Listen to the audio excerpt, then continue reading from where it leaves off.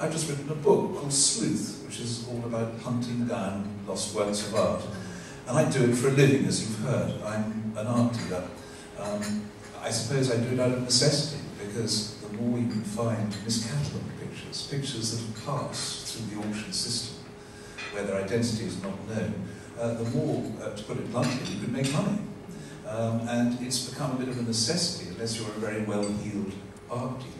And can you believe it? More and more art discoveries are now being made uh, out there in the big wide world. Why? Three reasons. First, I'm sorry to bang on about the internet, but the internet has had a massive transformative effect uh, on our business. I mean, before one had to sneeze through auction rooms. Now you can look at two, three hundred, four, five hundred pictures a week sometimes, coming up anywhere in the world. And you then have to decide from a screen, a screen, yes, a screen, whether or not the picture is worth buying, whether it could be by some interesting artist. And buying from screen is a bit like tasting food when you've got a cold. You've got some basic coldness, you've got salt, sweet, sour, and what's the other one? Bitter. Um, but, but you don't really get that full sense of what you're buying. But you get better at it. Sometimes you make horrifying mistakes. But the point is, we now see so much more. The other thing is knowledge. There are so many art history courses. I bet all of you here will have a friend somewhere who's done an art history course. 25, 30 years ago, it used to be quite rare. Now, every time an art history course is done an article is written, more knowledge is established. And you can only have art discoveries if you have the knowledge in the first place. So the industry of art history has moved forward. Another thing is photography. We now know what things look like. When I was um, a student at East Anglia University studying Giotto, I remember, I worked from black and white photographs.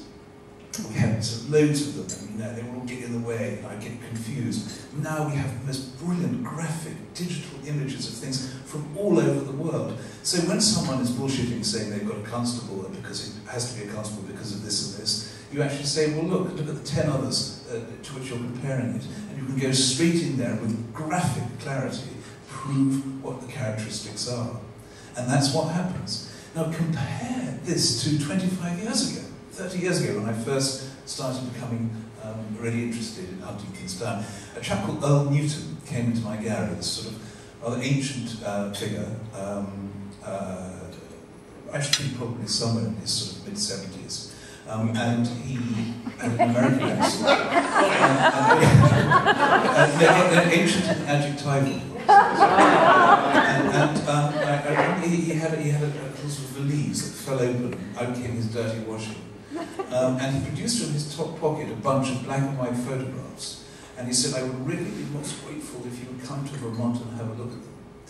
Three weeks later, um, the uh, ticket came in the post. Uh, so I decided to go out there. Now, this is 25, 30 years ago. Now we have done it so radically differently. But it's a very interesting example of how just a quarter of a century has made so huge a difference. I remember flying into Vermont um, and um, uh, uh, touching down in the middle of the night. It was a sort of black, white night, white because it was full of snow.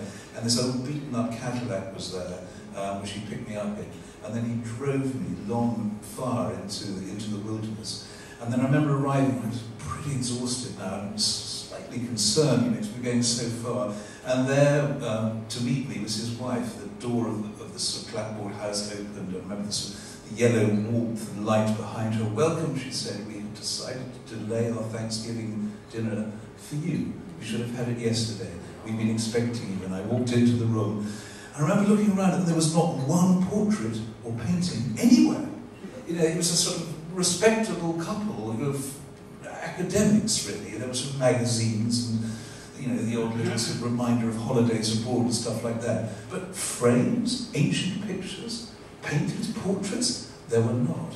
And I remember breaking into prayer in front of the, um, in front of the uh, turkey. Uh, Dear God, I remember she saying, thank you for sending Philip to us. And I remember looking at her and looking at Earl Newton, you know, looked a little bit different. He's the guy, a little bit different, perhaps a little bit less fragrant than he did in London. And I began to wonder whether I had been drawn into some, some hideous hoax, some fantasist, some fantasist's lair. And I remember going to bed that night, really feeling extremely uneasy. The next morning, uh, it was light, um, and uh, Earl said, okay, come down now. that's Earl speaking. He had this very interesting sort of crumbly American voice. Um, uh, every now and then he would stop and break. Um, uh, follow me, and we went out into the um, into the courtyard. And there in front of us was a clapboard church.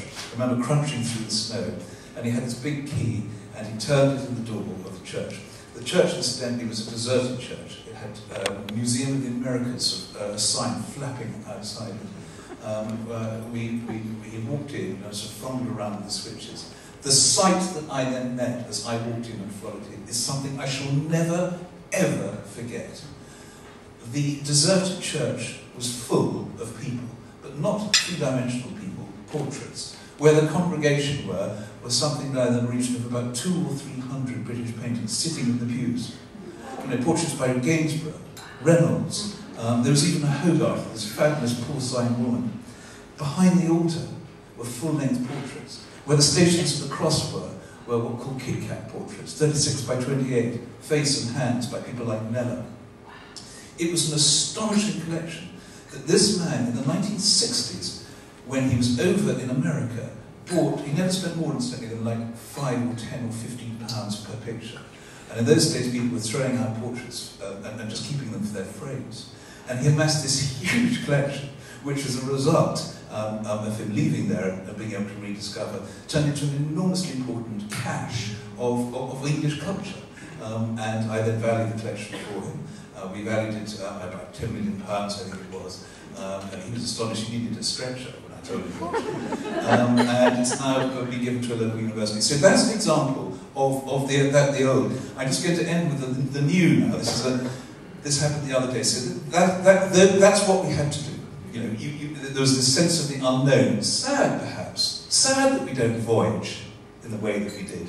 But now we voyage through screens. It was on eBay. It was a portrait of a, of, of a, um, of a rather cocky-looking uh, gentleman with a sort of slightly bright eye. It was called American School, estimate one to two hundred dollars. And I had a long look at that screen, you know, using that knowledge I have, you know, bitter, sweet, you know, is it, is it, is it, is it, is it roughly an interesting painting? And I looked at it more and more, and then homed in on it. It was a bad photograph. The face was fab.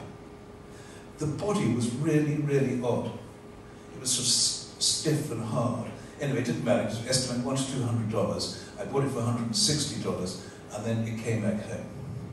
And I remember the thrill when I looked at the head, I had a very long, hard um, um, um, sort of an analysis of the brushstrokes, and realised that they were almost certainly those of Thomas Gainsborough.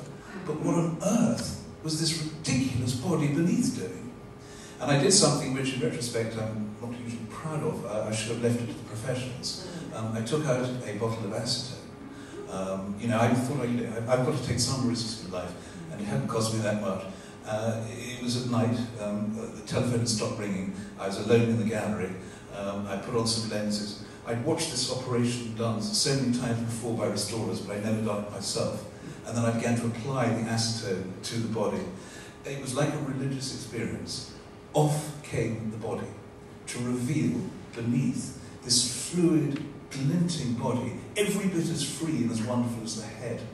And what had happened, and incidentally, this is how so many pictures are discovered, um, and I'm coming to the end of my 10 minutes now, it's called overpaint. So many exciting treasures are hidden beneath later paint. The reason is the sort of restorer's equivalent of the builder from hell.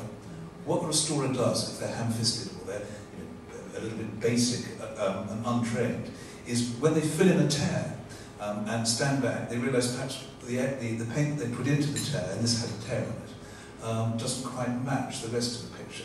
So they put a little bit more around, and then a bit more around. You sometimes see it on the sort of chassis of a car, you know. Um, and what had happened here was this tear that had run across the body had meant that the whole body was covered.